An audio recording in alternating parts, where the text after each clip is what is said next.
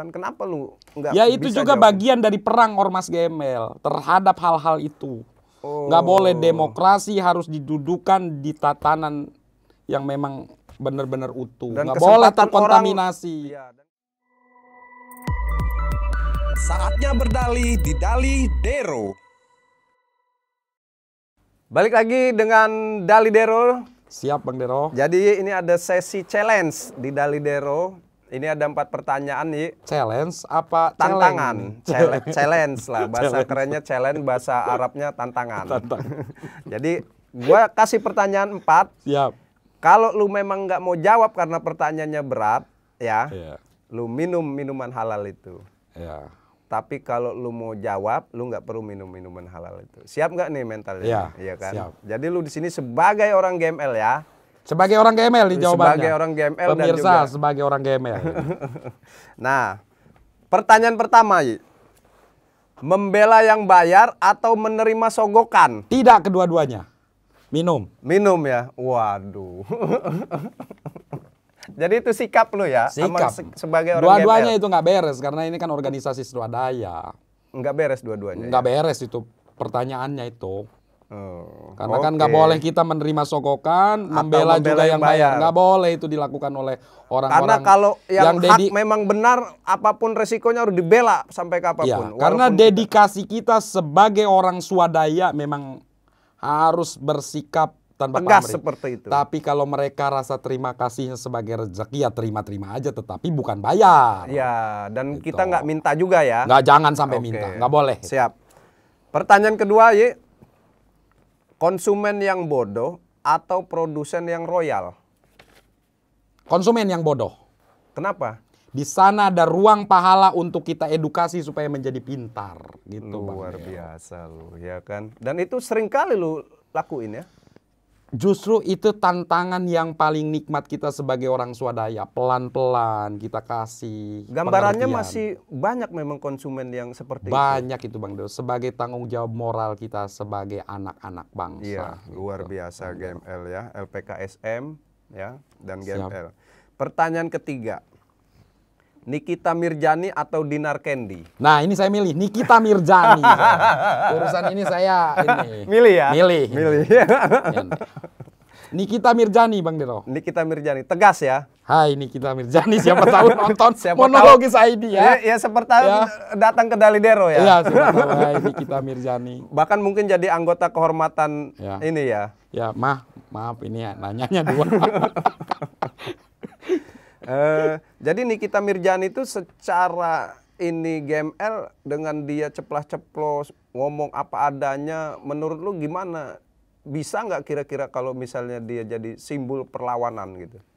Yang penting jangan melanggar hukum aja. lah. Yang penting jangan jangan melanggar melanggar hukum. hukum. Luar biasa. Kalau ceplas-ceplos itu ini kan urusan akde. Yang penting jangan sampai ada yang tersinggung. aja. Ya oke. Jangan sampai melukai. Iya.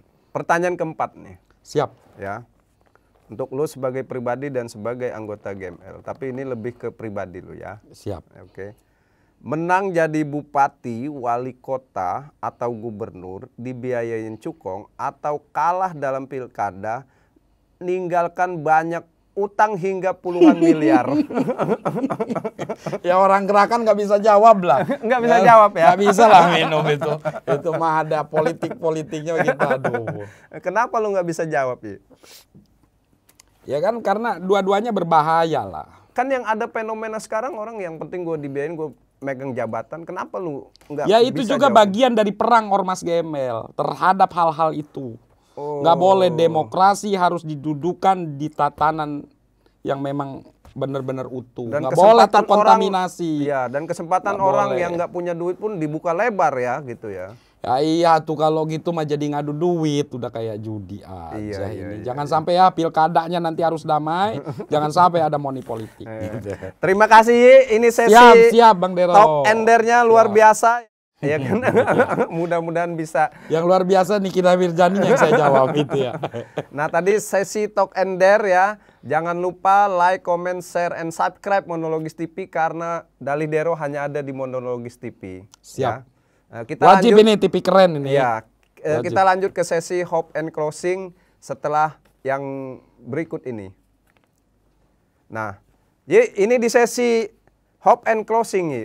Ya. Kan sudah berkeluarga ya, Yi. Alhamdulillah. Alhamdulillah.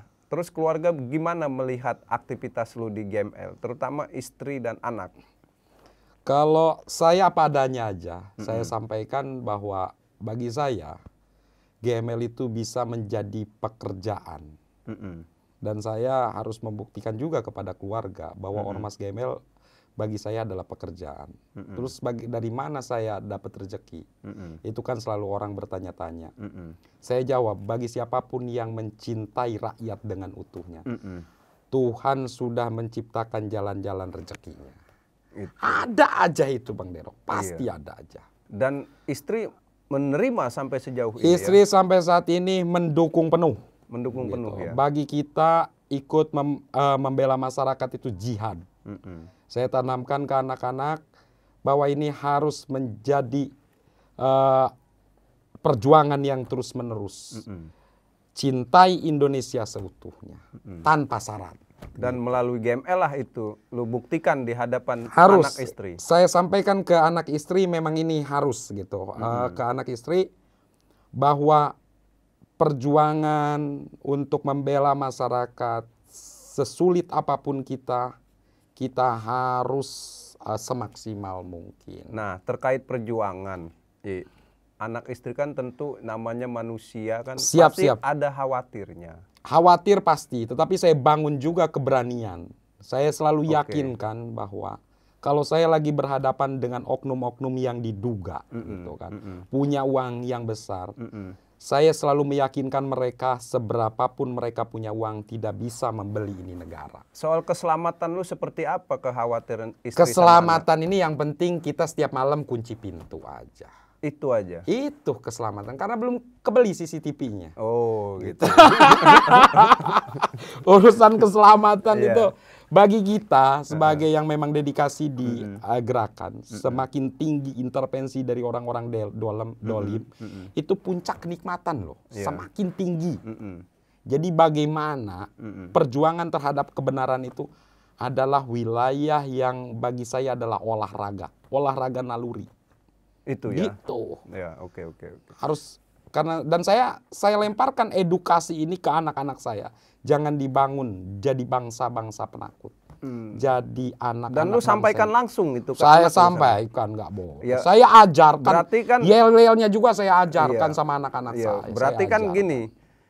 eh misalnya ada anggota GML yang masih ragu soal ini segala macam. Apa pesan-pesan lu terhadap anggota GML yang yang masih dalam posisi itu? Coba lu Kalau Jelaskan. yang masih ragu itu tidak kami daulat jadi anggota. Jadi tidak Oh, ada jadi untuk jadi anggota ada tahapannya ya? Ada tahapannya. Wow. Ada kita yang disebut sumpah setia satu jiwa kita untuk bagaimana Prosesinya ada GML ada nggak ya? sembarangan. Iya, iya, Bahkan kami di salah satu DPD itu kami tarik karena kebanyakan orang yang daftar. Oh. Kenapa? Karena kita memang belum siap untuk memverifikasi calon anggota itu. Ketika belum siap hentikan, kata ketum hentikan, hentikan. Luar biasa lu, saya baru tahu ini lu. Iya. ya nggak boleh juga asal masuk. Asal-asal masuk Dedikasinya di tempat. Bahkan pada waktu itu juga kita adakan diklat bela negara juga. Bagaimana gitu kan. Berarti yang memang jadi nerima kartu anggota itu sudah melalui semua tahapan itu ya. Sudah. Secara mental, secara ini ya kan. Kesepakatan menjadi ormas itu seperti apa sudah. Mereka sudah membaca ikrarnya. Luar biasa. Ada ikrarnya di Ada kita. ikrarnya di situ Ada ya. ikrarnya di Nah, kita. itu tadi eh, mudah-mudahan dengan penjelasan ini yang masih ragu makin yakin lagi ya kan. Iya. Yang sudah masuk makin maju lagi. Memberikan manfaat. memberikan manfaat untuk orang banyak ya. Untuk orang banyak. Nah, sekarang gini. Kadang-kadang orang ini kan masyarakat ini rakyat ini minim akses sih. Iya. Misalnya dia ada persoalan atau segala macam ya kan. Nah, sebelum kita tutup ya, coba lu sampaikan misalnya ada masyarakat atau rakyat yang ada masalah dengan siapa pun terkaitan hukum apa, posisi ormas GML ada di mana dan ke mana masyarakat itu mengadu dalam hal ini ke GML segala macam. Lu jelaskan. Eh, kepada masyarakat eh, Indonesia. yang- kepada masyarakat di Indonesia, masyarakat lokal di seluruh Indonesia dan gitu kan. Lampung khususnya ya. Lampung khususnya gitu kan 15 DPD kalau di Kabupaten Lampung Selatan 15 kemarin. kabupaten kota. Jadi kalau memang eh, ada hal-hal yang memang mendolimi masyarakat, eh, yang pertama jangan takut. Negara ini sudah mempersiapkan perangkat segalanya.